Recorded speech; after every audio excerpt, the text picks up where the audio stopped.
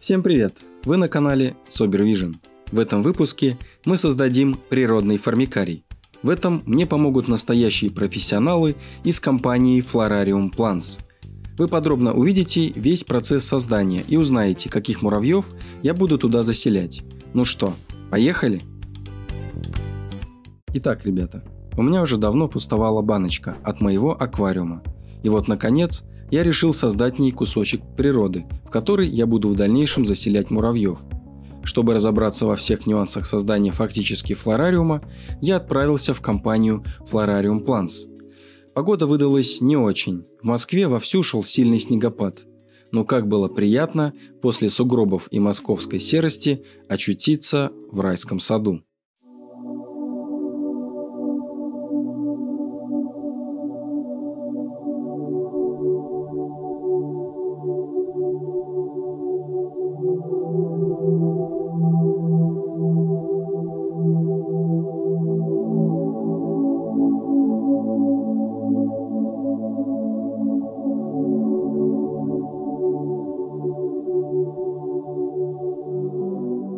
Здесь не только всевозможные флорариумы и полидариумы, но и все, чтобы создать самому свое произведение искусства. Тут есть даже мирмикофиты – растения, в которых в природе живут муравьи. В некоторых баночках находится различная живность. Забегая вперед, скажу, что ссылки на сайт, группу ВКонтакте и YouTube-канал компании Florarium Plants я оставлю в описании. Как вы понимаете, я не мог упустить возможность попасть в шоурум к ребятам и с их помощью создать природный формикарий для своих муравьев. А, здравствуйте, меня зовут э, Короленко Георгий, компания Florarium Plants. Сегодня мы находимся у нас в шоуруме, и мы будем делать террариум для муравьев с растениями. Так, начинать, наверное, будем с того, что на заднюю стенку мы приклеим решетку, а, на которой будет держаться наша глиносмесь. Глиносмесь, она очень тяжелая. Эта банка будет весить около 10 килограмм. То есть тут, наверное, килограмма 4, наверное, точно будет глины. Поэтому, чтобы она под собственным весом никуда не падала и не сползала, а, нужно что-то, за что она закрепится. Решетку мы будем использовать вот такую. Это потолочная э, решетка для подвесных потолков. Продаются они вот размером 60 на 60 сантиметров. Нам нужно вырезать так, чтобы она ложилась на заднюю стенку. Отмеряем. И ножницами по металлу режем. Это наиболее быстрый способ.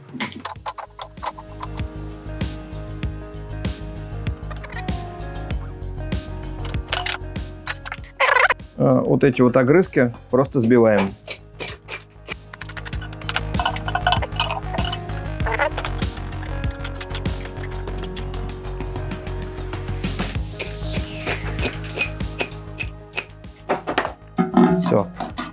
Решетка входит туда не плотно, но нам, в общем-то, и не нужно, чтобы она там прямо четко вставлялась. Оставили здесь небольшую полоску стекла, чтобы минимизировать побеги. Ну, возможно, там будет чем-то намазано, чтобы муравей не удрали. А теперь будем приклеивать нашу решетку. Для этого сегодня будем использовать а, циакрин и соду. Технология такая. Насыпаем в ячейку небольшое количество соды. И капаем сверху циакрином. Происходит мгновенная реакция. Клей застывает. Получается своего рода пластик. Реакция проходит с выделением тепла и запахом, поэтому нос туда лучше не совать, и глаза тоже. Так делаем в нескольких точках. Соединение это очень прочное, но хрупкое.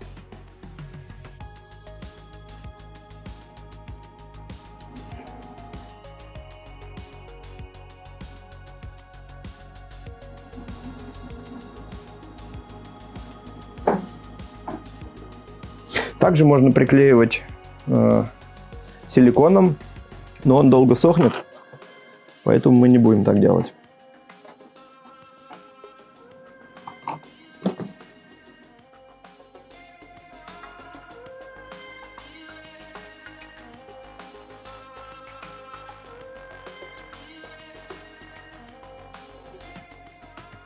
А, Все, у нас приклеилось. Сейчас могу показать. Прямо потыкать ножом. Очень жесткая получилась такая штука, как пластик. А, остатки соды лучше смыть. Хоть она и безвредная, но она сильно поднимает щелочность. Вот, поэтому субстрат у нас... А, субстрат у нас будет кислый, поэтому не очень хорошо.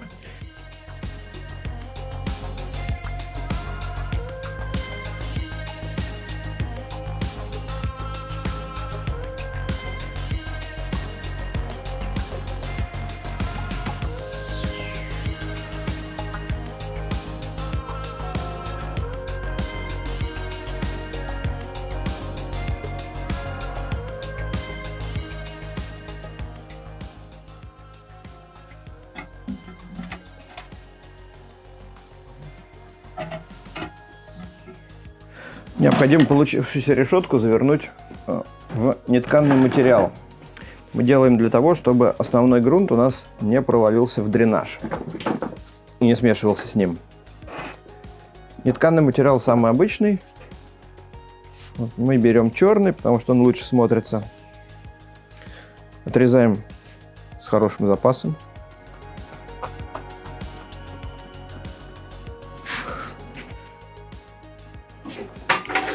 Примеряем, как у нас это все завернется.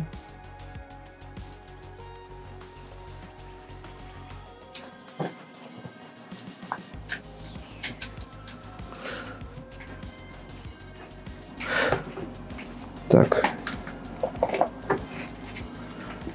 И ждем, когда нагреется термопистолет, потому что приклеивать э, края будем именно им. А, все, термопистолет прогрелся.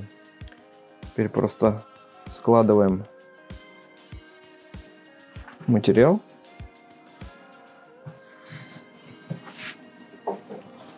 И наливаем сюда термоклей. Лучше делать с какой-то высоты, потому что горячий клей прожигает материал этот. А так он успевает охладиться, прежде чем долетит. Делаем мы это только для удобства, чтобы наш материал не разворачивался, пока мы это будем запихивать внутрь.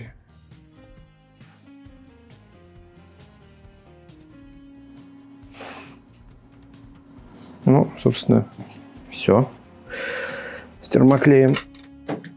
Теперь примеряем. Получились довольно большие зазоры, которые мы будем затыкать уже кусками нетканного материала потом. Теперь нам необходимо сделать отверстие для слива излишек воды из дренажа. Отверстие делают обычно около переднего края, потому что здесь будет наименьший слой грунта. Вот. Вы всегда будете помнить, э, где это отверстие находится, потому что потом это все зарастет растениями, и можно не найти. Отсчитываем примерно 3 на 3 клеточки. Разрезаем материал насквозь. Разрезаем одну перегородочку.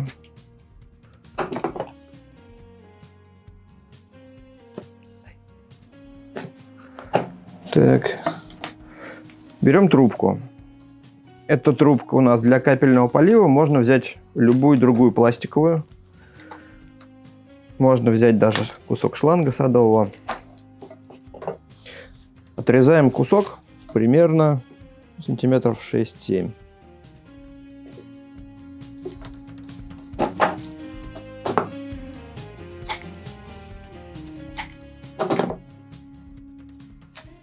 Лучше с небольшим запасом, потому что отрезать потом всегда можно будет.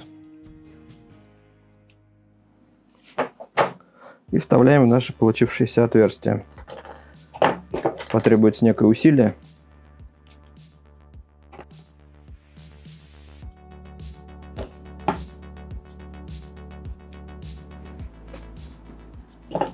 С этой стороны немножко подрежем.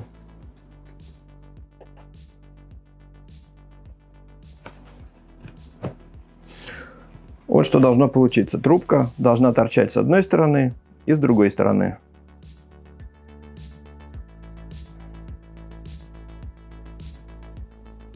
Так, все, с дренажом пока мы закончили. Откладываем это в сторону. В ближайшие минут 40 нам это не потребуется. Так, э, сейчас мы будем доделывать нашу глиносмесь. У нас она уже была готовая. Но когда мы ее делали, мы добавили туда мало торфа. Сейчас э, восполним этот недостаток. А, состав глиносмеси не секрет, можно его найти в интернете. А, изначально э, этот состав разработали американские лягушатники, ну, люди, которые лягушек разводят. А, они использовали его в качестве основного субстрата для растений и для лягушек, сыпали его на дно в засушенном и запеченном виде. Мы рецепт немножко изменили, мы э, не стали ничего запекать, добавили чуть больше питательных всяких компонентов. А, ну, собственно, и все. И используем в качестве декорирования задней стенки. А, субстрат э, постоянно находится во влажном состоянии, растения корнями в него проникают и отлично растут. А, давайте начнем замешивать. Нужно перемешать до гомогенного состояния. Вот, если будет воды не хватать, я буду поливать.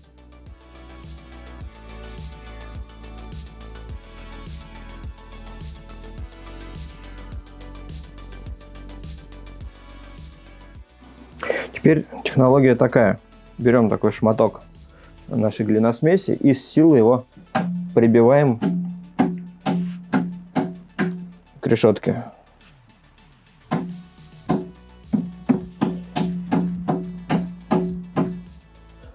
Так нам нужно покрыть всю поверхность. Смотрим, чтобы глина прошла сквозь решетку и прилепилась к стеклу. Пока делаем все э, одним равномерным слоем толщиной сантиметра 3, наверное, где-то так.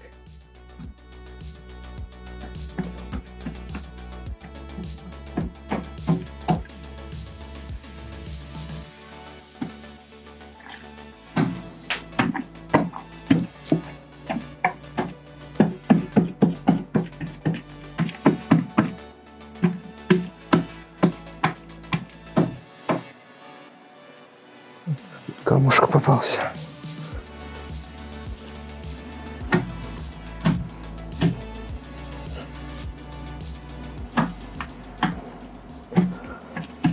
Особенно тщательно простукиваем углы, потому что обычно здесь плохо прилипает, остаются воздушные полости.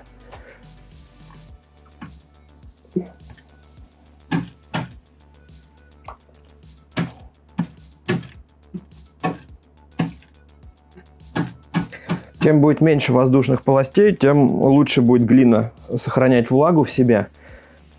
Меньше будет сохнуть и трескаться, если вы вдруг забудете полить. Обязательно смотрим, насколько хорошо она приклеивается. Вот сверху, в серединке нормально, а вот здесь плохо, надо еще простучать.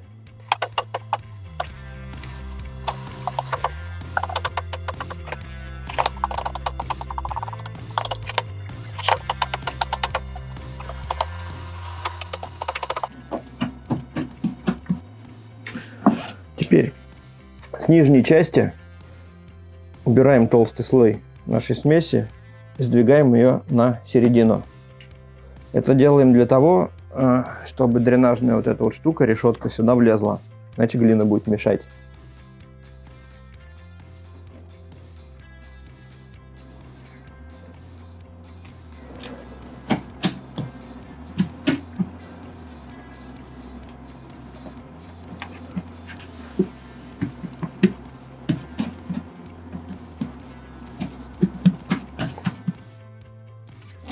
Так вот у нас получилось.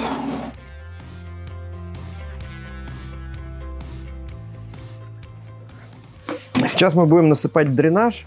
В качестве дренажа мы используем э, вулканическую лаву мелкой фракции, около 1 сантиметра. Вот. Можно, в принципе, использовать любой другой инертный субстрат, пеностекло, например, но оно белого цвета, не очень красиво смотрится.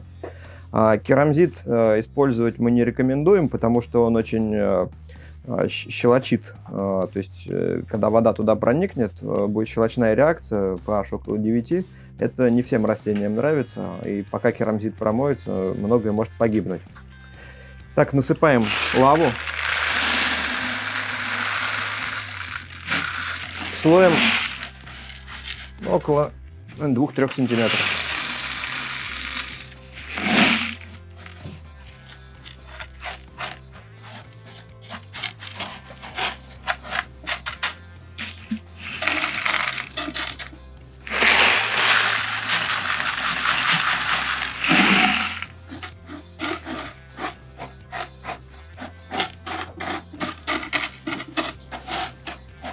Столько достаточно.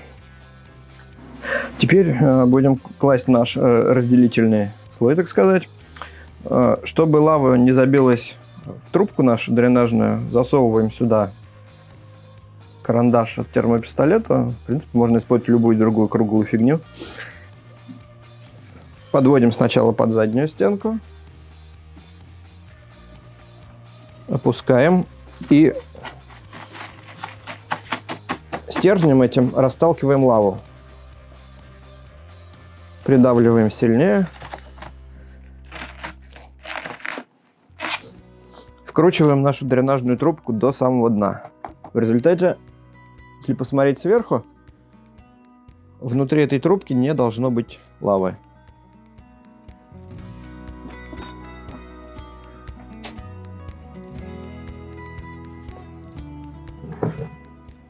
Теперь трубку затыкаем, в принципе, чем угодно. Мы заткнем кусочком нетканного материала.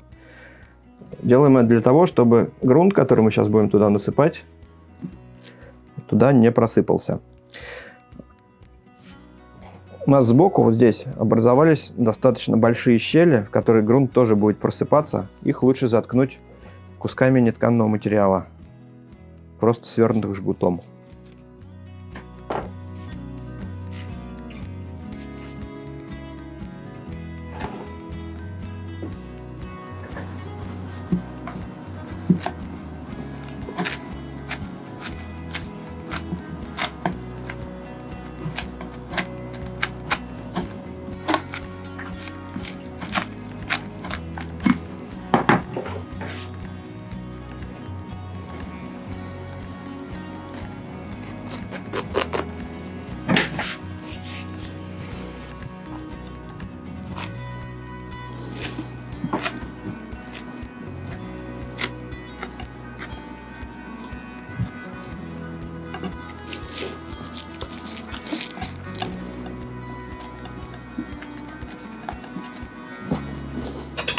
Все, теперь грунт у нас никуда не просыпется, и он отделен от дренажа нетканным материалом. А теперь вот этот горб, который у нас образовался, мы немножко опускаем вниз. Но так, чтобы он не давил на нашу решетку, иначе передний край решетки приподнимется.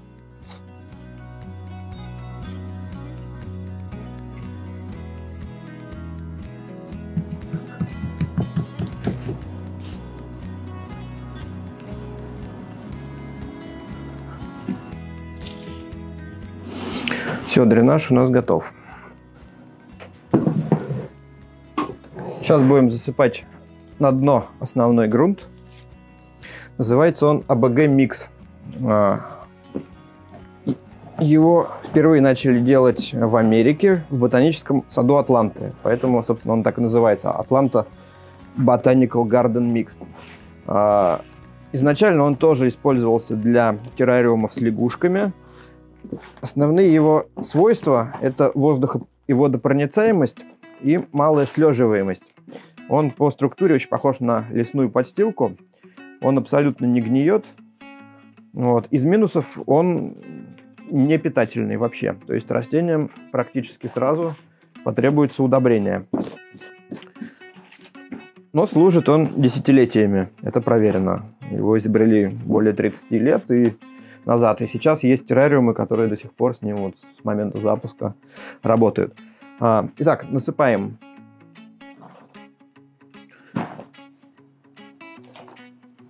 Стараемся сыпать так, чтобы у задней стенки была некая горка, спереди слой полтора-два сантиметра. растениям вполне это хватит, почвопокровным для укоренения. Смотреться будет лучше, когда сзади побольше. И сразу его трамбуем. Он очень воздухоемкий, поэтому, чтобы он в дальнейшем не оседал при поливах, лучше утрамбовать сразу.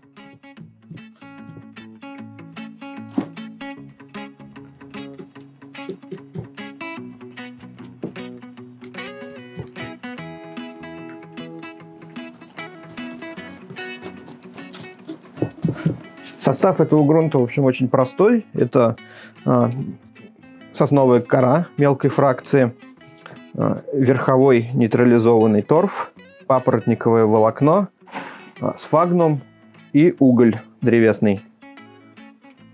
Папоротниковое волокно делается из новозеландских папоротников, древовидных из стволов.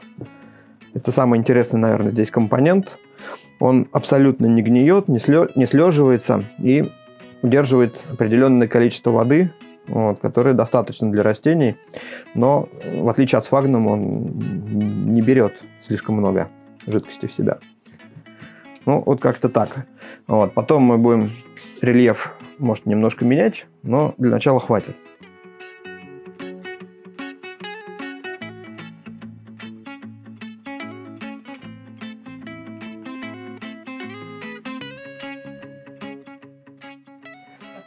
Так, мы расчленили немножко дубовых коряк, потому что они приходят к нам крупнее, приходится их разделывать.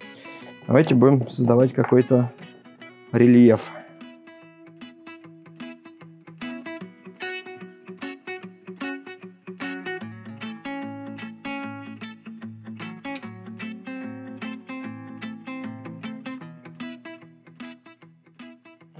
Давайте как-нибудь так вот пока оставим. Сейчас. Теперь коряшки поплотнее вдавливаем в глину, прямо пока они не упрутся в заднюю стенку. И фиксируем их по краям.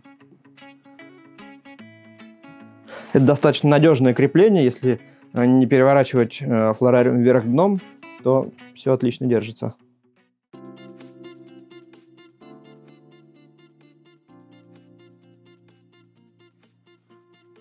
Плюс потом корни растений проникнут в глиносмесь, и это будет вообще монолитная такая структура.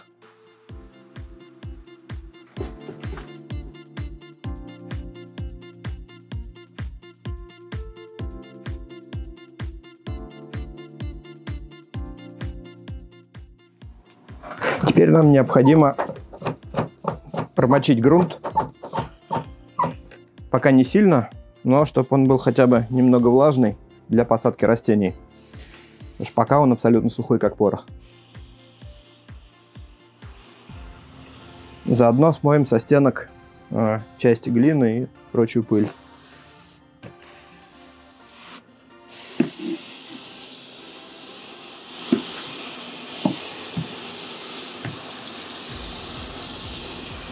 Воду используем э, осмос, либо дистиллят, либо дождевую, либо талую. Из-под крана нежелательно, потому что кальциевый налет на стенках потом трудно удалим.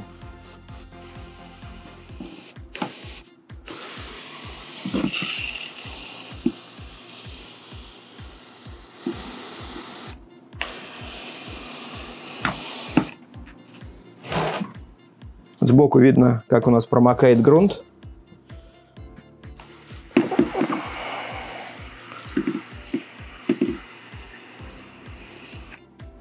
Пока хватит. А для начала на вдоль передней стенки, где мы будем сажать почвопокровные растения, насыпем очень тонкий слой чистого торфа.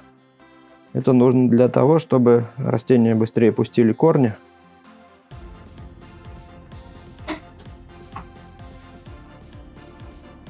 Слой буквально несколько миллиметров.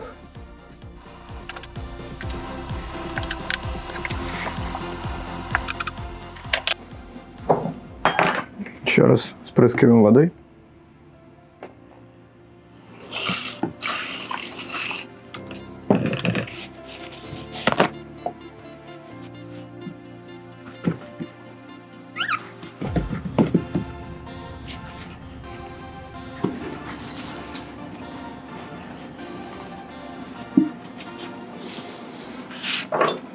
Начинаем сажать. Давайте сначала на задний план посадим фикус пумила кверстифолия. Это миниатюрный фикус, это максимальный у него размер листиков, вьющийся. А, со временем он заплетет всю заднюю стенку и коряги. Вот. Процесс его роста а, надо контролировать, потому что это очень агрессивное растение. Если его не резать, он заполонит здесь все. Выдергиваем его прямо с корневым комом и копаем ямку, где мы его будем сажать. Ну, тут.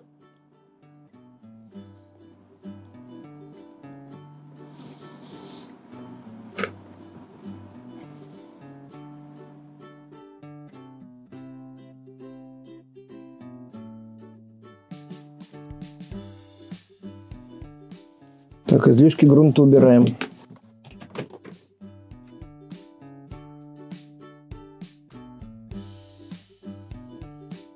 Фикус довольно первое время довольно медленное растение. Первый месяц-полтора он будет сидеть вот в таком вот виде, и только потом резко тронется в рост. А вот с этой стороны, в самую тень, мы посадим селигенеллу унцината. Это селигенелла, которая э, при слабом освещении становится синего цвета.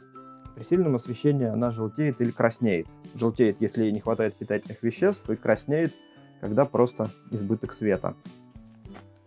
Тоже выкапываем небольшую ямку или большую. Вот так, мне кажется, будет хорошо. И тоже с корневым комом прямо туда ставим растение.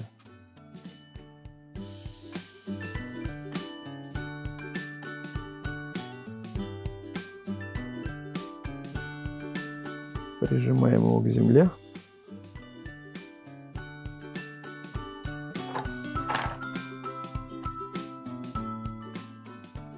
Тоже между коряшками сейчас закрепим вторую часть растения. Немножко торфа туда.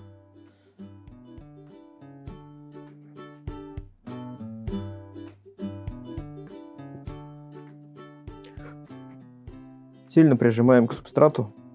Ничего страшного, она потом расправится. Растение очень быстро растущее, и тоже нужно периодически резать.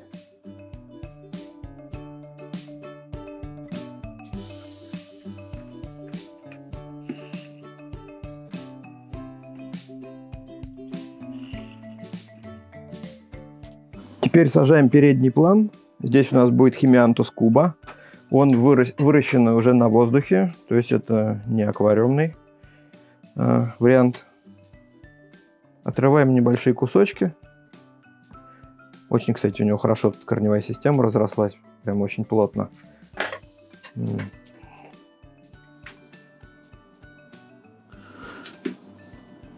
Отрываем кусочки и просто раскладываем на грунте пока.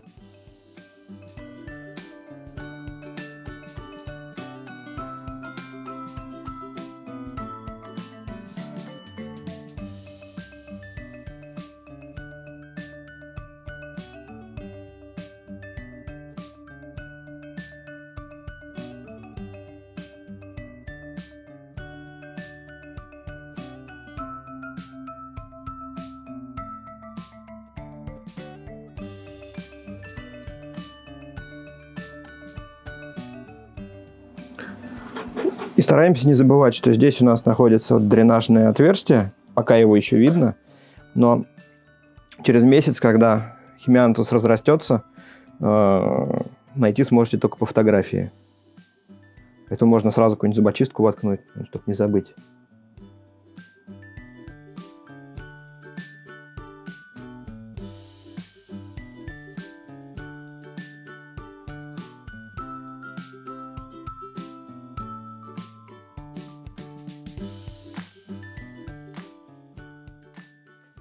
Просто утрамбовываем пальцами довольно сильно.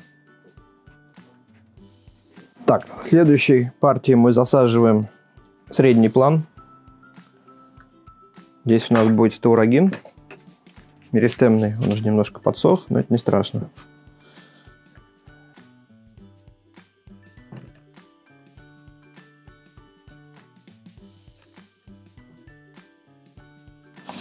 Отмываем корни от питательного геля.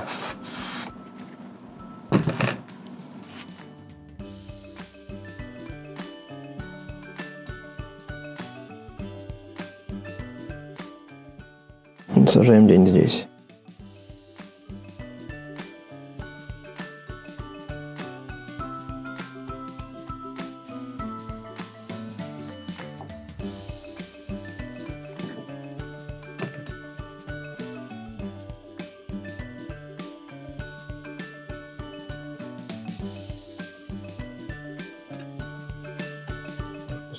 Химиантуса уберем.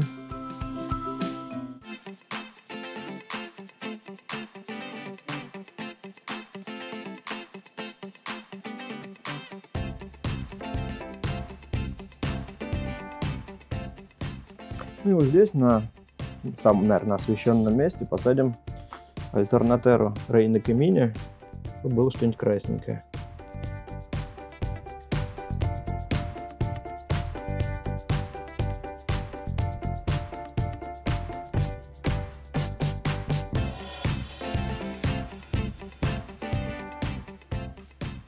Теперь нам осталось э, чем-то заполнить глину на задней стенке. Для этого мы будем использовать мох. Это обычный яванский мох. Берем, сматываем его в такой комок и мелко режем ножницами.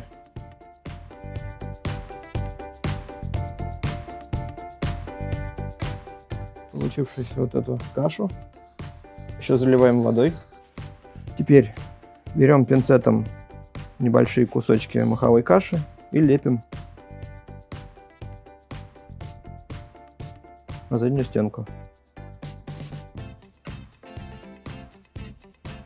Стараемся распределить тонким слоем, но если получаются комки, то ничего страшного, это никак не мешает.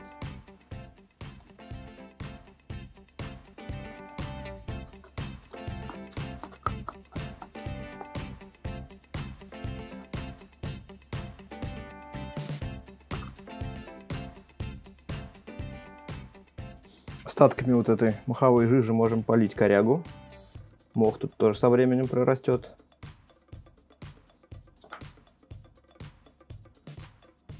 И теперь пальцем все это вот так вот утрамбовываем. Мох испачкается в глине, но это ничего страшного. На рост никак не повлияет.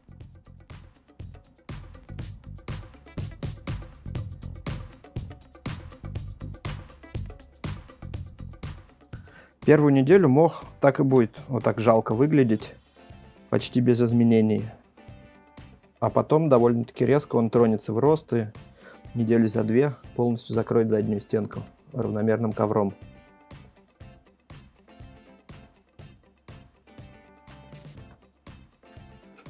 Немного опрыскиваем.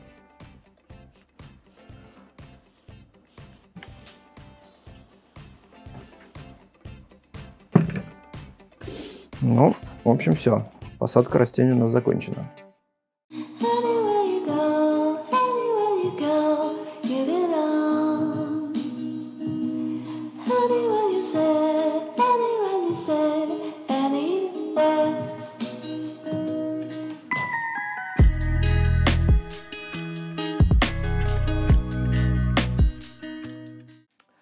Все, флорариум у нас собран. Теперь нужно ждать его разрастания.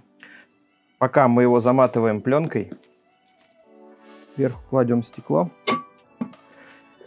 И дня три вообще его не трогаем. Ставим его на место, ставим свет, пленку пока не открываем. Через три дня берем передний край пленки, чуть его приподнимаем и отводим назад, ну, примерно сантиметр, может, чуть больше. И снова кладем покровное стекло. Тут есть достаточно щель для вентиляции. После открытия немного пленки нужно слегка опрыскать растения. И повторяем такое практически каждый день. Ну, либо через день, в зависимости от влажности воздуха у вас в помещении. А, каждый день немножко отодвигаем пленку, прыскаем, снова сверху кладем стекло. В течение примерно двух недель пленку можно будет уже полностью убрать.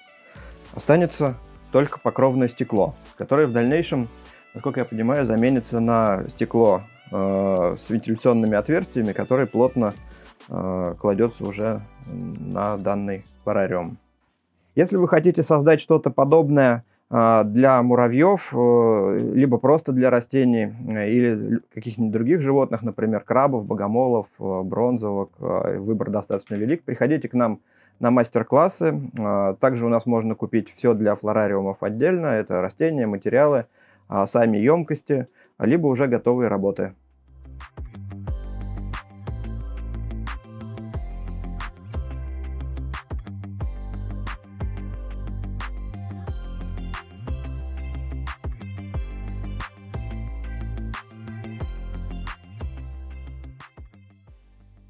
Вот такой классный формикарий с живыми растениями, коряшками мы сегодня создали. Теперь остается правильно ухаживать за ним и ждать, пока растения разрастутся. И кого же я буду заселять в такую красоту? Это будут муравьи Мирмикария брунея. Они находятся в диапаузе и только сейчас начали нести яйца. Подожду, пока в этой семье появится хотя бы 10-15 рабочих и предоставлю им этот кусочек природы. Ну а на сегодня все. Не забывайте подписаться на мой канал, на канал компании Florarium Plants. Там много полезной информации по содержанию флорариумов и не только. Обязательно посетите сайт, ребят, и подпишитесь на их группу ВКонтакте. Все ссылки в описании. Всем пока!